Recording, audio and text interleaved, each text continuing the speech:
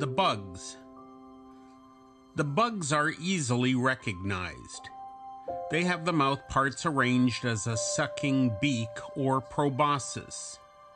The chinch bug, the squash bug, the 17 year cicada or locust, and the bean aphis are well known examples.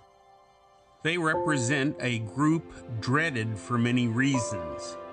Many are parasites on man and beast, while many others destroy crops of various kinds.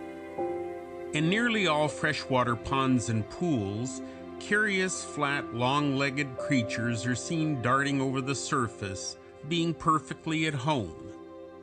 They are the water boatmen, and one species is found far out at sea. In passing in review the various insects, the peculiar transformations through which they pass are noticed, some long, some short, some partial, and many complete. In the cicada, or 17 year locust, or harvest fly, we have an instance of one of the strangest examples of slow development known. The cicada is a wedge shaped insect having some resemblance to a huge fly. At the base of the abdomen is a drum like organ by which it makes a shrill zing sound, which, when thousands are joined in concert, produces a remarkable sound audible for a long distance. I have heard it half a mile with the wind, and by following it up, found a grove filled with insects producing a roar of sounds while Clinging to the trees and branches were thousands of empty skins from which the cicadas had escaped. The cicada deposits three or four hundred eggs in holes on the twigs or bark of the oak. They hatch very promptly in six weeks or so, and we might conclude that the young cicadas would soon appear but 17 long years of life underground are now required before the pupa crawls upward, molts, and appears as an adult cicada. It has spent all these years as an almost helpless creature resembling the mole cricket, subsisting by sucking the juices from the roots of plants, waiting for the ending of its imprisonment. On many plants, the stroller through the garden will observe bits of white froth, like soap suds, and few persons, were they not in the secret, would believe that the froth is an especially devised medium for the little leafhopper. The adult insect is a curious little creature found among the grasses in spring. The young require moisture to enable them to attain their full development, and when hatched, they climb up stalks of grass and pierce them with their beak like proboscis and gorge themselves with the juices. The insect now exudes a foamy secretion which bubbles up about it, in time entirely surrounding itself in a mass of moisture. The insect converts this into air globules by pushing its tail above the mass and seizing air in its claspers, which it passes beneath it to the spiracle or breathing pore.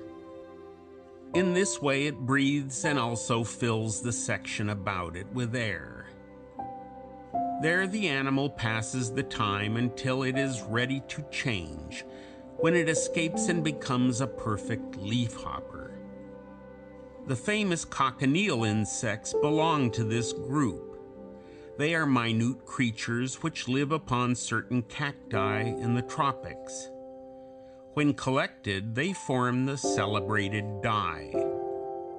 Another form produces a valuable wax. Who has not found his rose bushes swarming with minute green bodies, the aphidae? Brush them off at night, and in a few hours, as many more are seen due to the marvelous rapidity of their increase.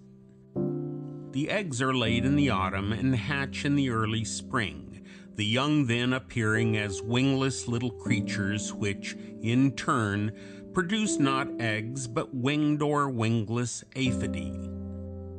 These appear in such numbers and so quickly that in a single summer a pair of plant lice will produce one quintillion of young ones. Can we wonder that it is difficult to keep the rose bushes free from such a swarm? The story of the development of these insects is but merely touched upon, but it is among the most remarkable of all the strange and unexplainable transformations we find in animal life. Here we may glance at the countless scaly insects which infest fruit of various kinds.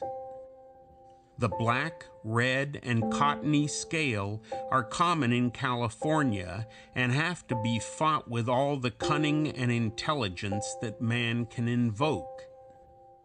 In 1886, the orange groves of Southern California were almost ruined by the cottony scale. I have seen trees that looked as though the limbs were covered with snow. But an enemy of the scale, a little spotted ladybug, was imported from Australia, and in a few months the scale had disappeared. The black and red scale and several others are pests which devastate the groves, stopping the growth of the trees and operating against the fruit grower, who is obliged to spray the trees with poisonous washes to destroy them. End of chapter 25.